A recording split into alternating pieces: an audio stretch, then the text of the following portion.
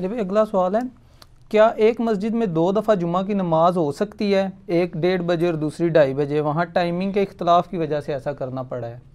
Timing کا اختلاف اگر ہے تو یہ میرے خیال یورپ امریکہ میں ہوگا۔ پاکستان میں اگر کرنا پڑا تو فرقے کا اختلاف ہوگا۔ بالکل ایسی سچویشن ہے۔ ہاں سانو پتہ ہے نا؟ کیوں؟ نام ہے بابی نام ہے بابی۔ میں ہوں مسلم علمی کتابی۔ یہ ہوتا ہے ادھر۔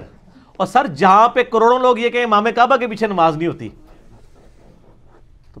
تو یہ بعض جگہ فرقہ واریت والا مسئلہ ہوتا ہے کہ اس امام کے پیچھے پڑھنی ہے، اس کے پیچھے نہیں پڑھنی۔ بعض کا آفس ٹائمنگ کا مسئلہ ہوتا ہے۔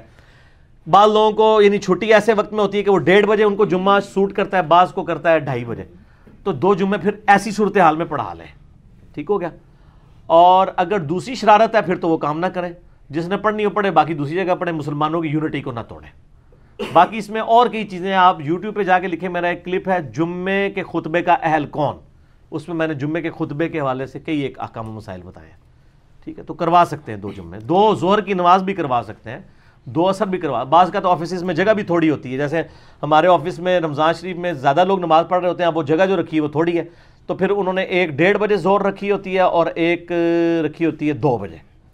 تو ڈیڑھ والے دو بجے تک فارغ ہو کے چلے جاتے ہیں اور دو والے پھر جو ہے نا وہ اس وقت جو ہے نا آ کے پڑھ لیتے ہیں، تو وہ پھر یعنی پبلک پوری آ جاتی ہے۔ اگر اس طرح کی کوئی ریزن ہے تو آپ بے شک کروائیں۔ کوئی مسئلہ نہیں تین جماعتیں بھی کروائیں۔